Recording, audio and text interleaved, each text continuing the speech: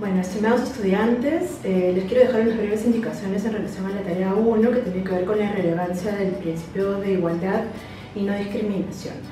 En relación a la tarea 1, lo que solicito en sí es de que ustedes puedan describir cuál es el contenido básicamente del principio de no discriminación y eh, de la igualdad ante la ley.